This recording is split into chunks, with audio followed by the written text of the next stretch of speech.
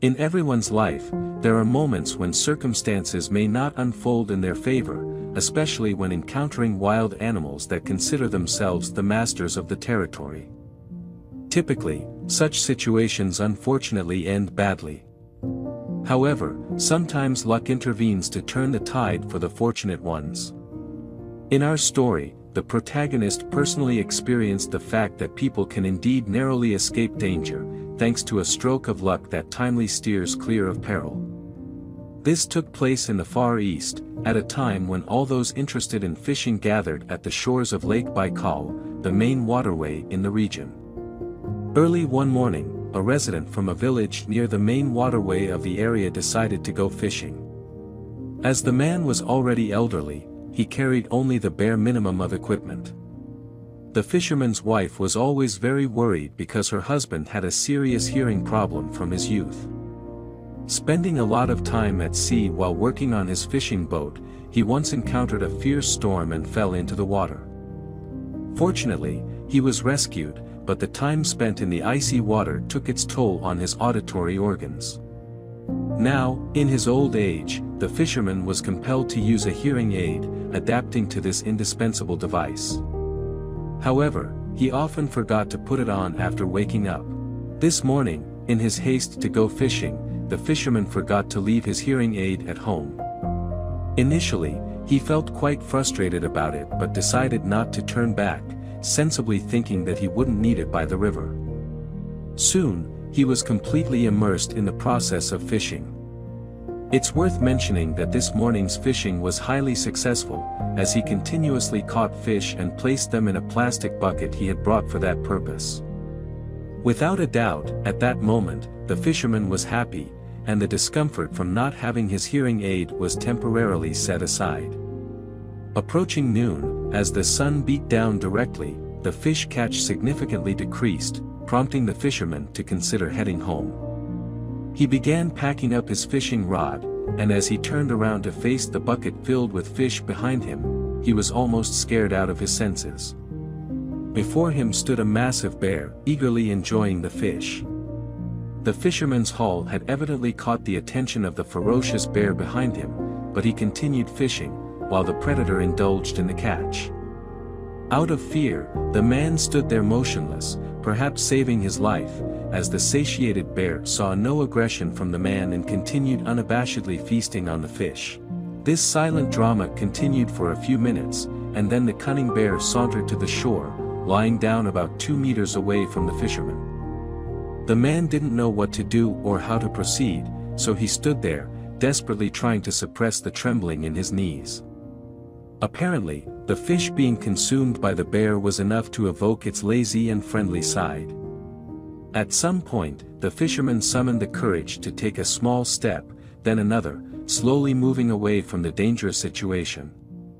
The man distanced himself quite far from the bear, realizing he couldn't retrieve his fishing rod now, and he sadly headed home. When he told his wife about the fishing incident, she comforted him, telling him not to worry about the lost gear and catch because on that day, he caught a huge stroke of luck that allowed him to survive an encounter with such a fierce predator. It's hard to say, but if it weren't for the fish in his bucket, there might be nothing to calm the deaf fisherman's nerves and appease the bear attempting to snatch his catch. If the man had noticed the bear earlier, he would have surely tried to escape, undoubtedly further enraging the hungry predator. Friends, if you enjoyed this amazing story, please like, leave your comments, and share this video with your friends. Goodbye. Let's continue. In nature, animals compete and only the strong and lucky ones survive. When animals are in danger, their parents will protect them. With the blessing of their parents, they can grow up safely. Whether it is animals or humans, their parents always pay the most. What would they do if their parents are not around or are in distress in times of crisis? There was a group of cute snowy owl hatchlings all disappeared overnight, so that mother snowy owl was in anxious search.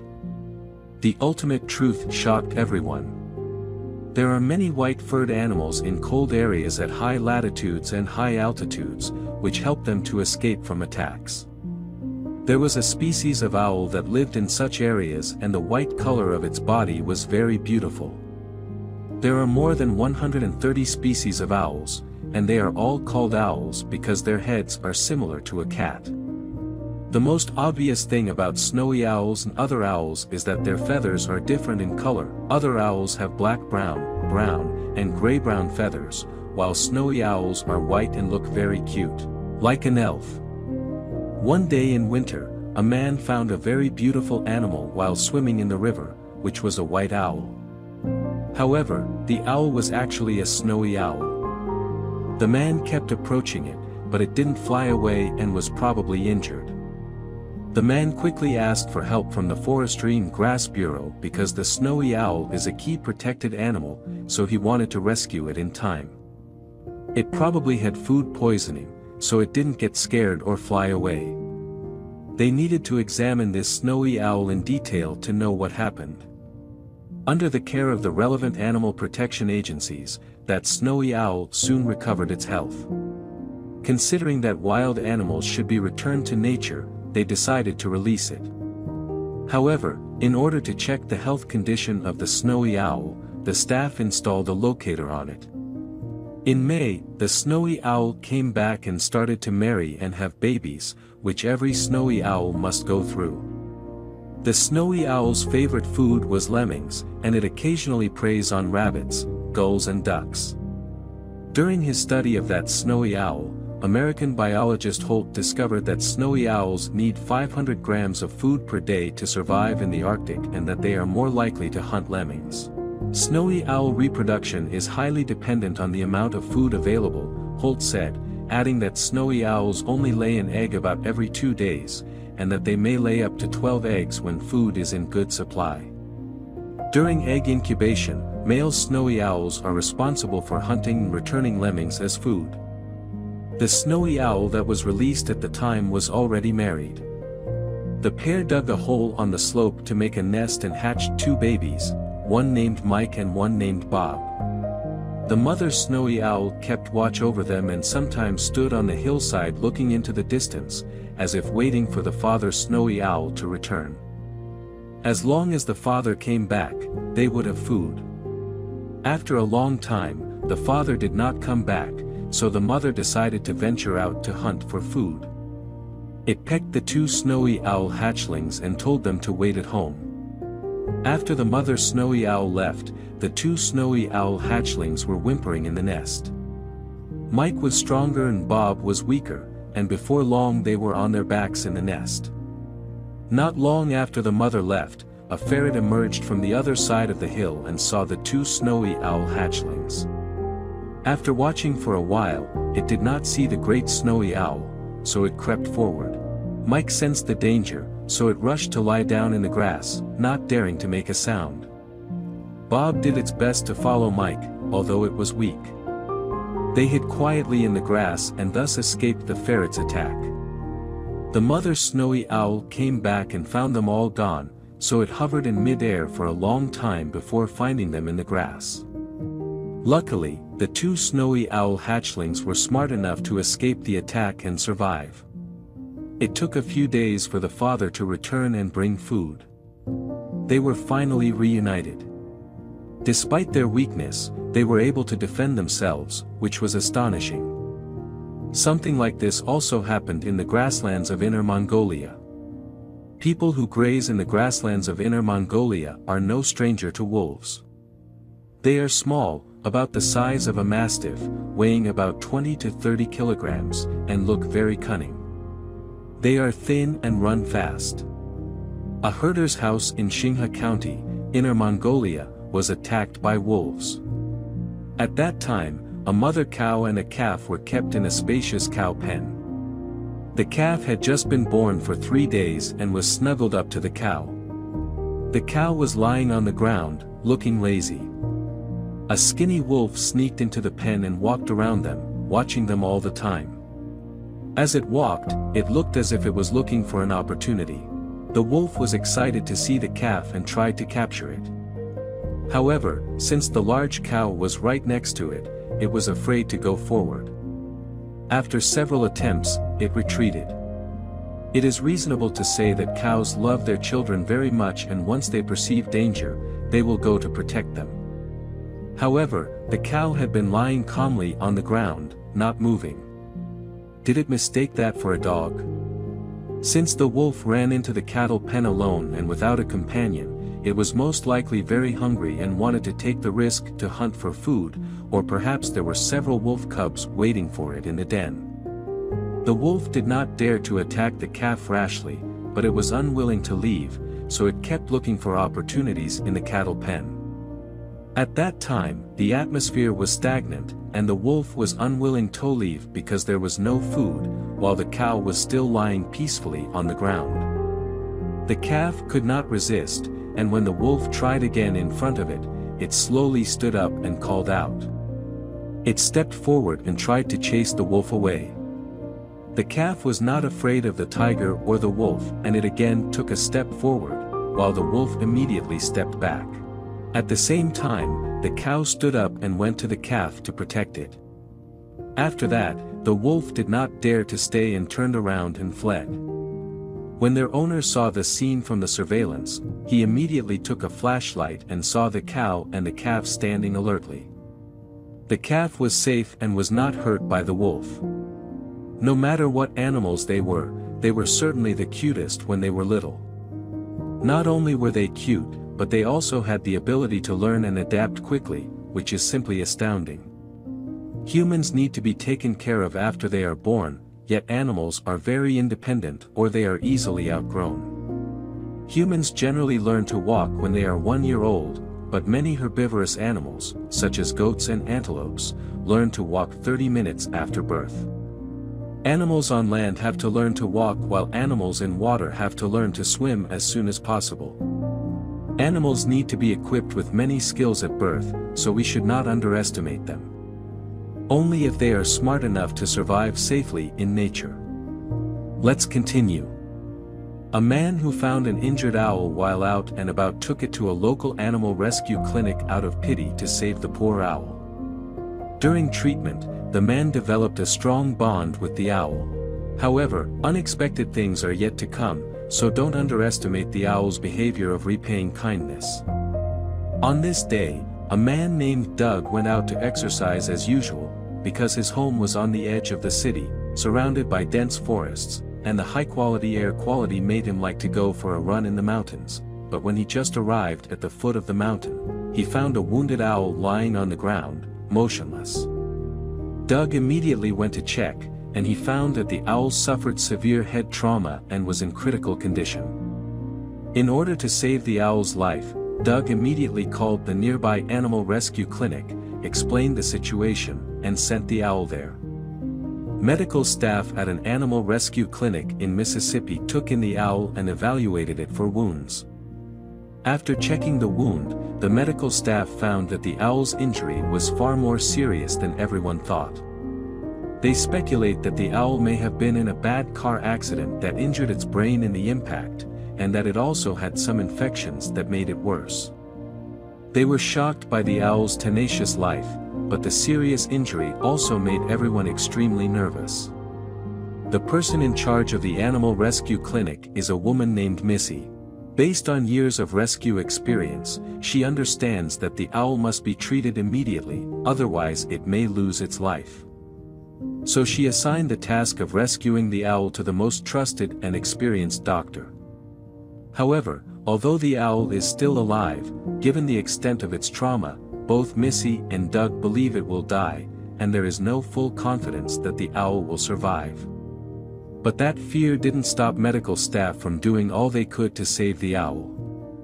They immediately performed an operation on the owl. During the operation, everyone injected 120% concentration, and they understood that a small mistake may affect the life of the owl. Cleaning up the body, suturing the wound, applying medicine, the medical staff successfully completed the operation with their superb skills and rich experience. The owl saved its life, which also relieved everyone's hanging hearts a little bit. Although the operation was successfully completed, the follow-up treatment work is even more difficult, because animals cannot express their pain like humans, and humans and animals have different languages, which also means that medical staff must have enough care and patience to observe it. Due to the seriousness of the owl's injuries, its recovery process was very slow. The injury made it lose a pound, which is about one-fifth of its total body weight, but with the careful care and treatment of the medical staff, the owl's body began to slowly recover, some good things are coming. Because Doug has been thinking about the owl, he will come to visit when he is free, and as the owl begins to recover physically, it seems to have a real connection with Doug, and it seems to know Doug very well. It's here to help it, and it's getting more and more open. Missy said, the owl's trust in Doug is evident in its behavior and body language. I have never seen any owl show such emotion to a human. It is really incredible. Missy and Doug all realized that the owl was gradually recovering, and they were very happy. Missy described the experience as unbelievable, saying, When the owl was brought in, everyone was stunned by its injuries, we didn't expect it to recover so well, she also said that the intimate interaction between the owl and Doug, which she has only seen on TV, I think everyone is very grateful that it can meet Doug. And the reason why Doug can have incomprehensible emotions with Owl starts from his own experience, Doug has the nickname, the Raptor Whisperer. Because of his long-term work with large birds such as owls, scops owls, etc. Large birds of prey are often difficult to care for because of their often unfriendly behavior. Imagine if you try to help an animal and give it meticulous care, but it scratches you, bites you, and attacks you as return, presumably this is not acceptable to ordinary people. Taking care of these birds, then, requires a special kind of people, people who have the patience and tolerance to care for these tantrum-prone birds with kindness and selflessness. And Doug is that kind of person. Doug's abilities are so widely admired that he's made second in charge of the clinic, where he, along with Missy, helped Owl make a full recovery. Having seen Doug's affirming abilities at work, Missy said she has never seen someone as capable of interacting with birds of prey as Doug in her career. With Doug's help, the owl slowly recovered its ability to prey. At first, she could only eat food from Doug's hand, but over the next few weeks, he relearned how to hold food by himself. That's a big win for an owl who's raced against death. Knowing that it would take more work to fully heal the owl on his own, Doug began more detailed care. Another important milestone on the owl's road to recovery is when it is able to stand on its own again, and at this benchmark, it's clear that the owl is on track for a full recovery. Seeing the owl's condition stabilized, Doug decided to visit his family in Michigan. He handed over the care of the owl to Missy and promised to return as soon as possible. But what everyone didn't expect was that since Doug left, the owl's spirit had declined, and its recovery speed was much slower, its mood became very irritable, and it even became hostile to the medical staff in the clinic. Discovering the change in the owl's temperament, Missy realizes that it has something to do with Doug's departure, and it's clear that she misses her good friend Doug very much. After learning of this situation, Doug immediately returned to the clinic. When the owl saw Doug, everyone was shocked and moved by its reaction. It turned out that when Doug took the owl out of the cage, the owl jumped up and down on his arm, as if dancing a cheerful dance. What happened next brought tears to everyone's eyes. It walked towards Doug's chest, gently leaned its head against it, and spread its wings to hug him, as if expressing its missing for Doug. After a few months, the owl had fully recovered, which meant it was time to return him to the wild. So, with reluctance, Doug and the medical staff took it back to the place where it was found, ready to say goodbye. But to their surprise, when the owl came out of the cage, it didn't immediately fly away like the other owls. Instead, it circled above them and looked back at them from time to time. At that point, everyone realizes that Owl doesn't want to leave, and that its hesitation to leave proves to Doug that he and Owl have developed a real connection, something that will always be with him. A well-known foreign veterinary writer once said, if having a soul means being able to perceive love, loyalty, and gratitude, then animals are better than many people. All things have spirits, even raptors like owls have a heart of gratitude. As advanced animals, we should learn to be grateful and know how to be kind.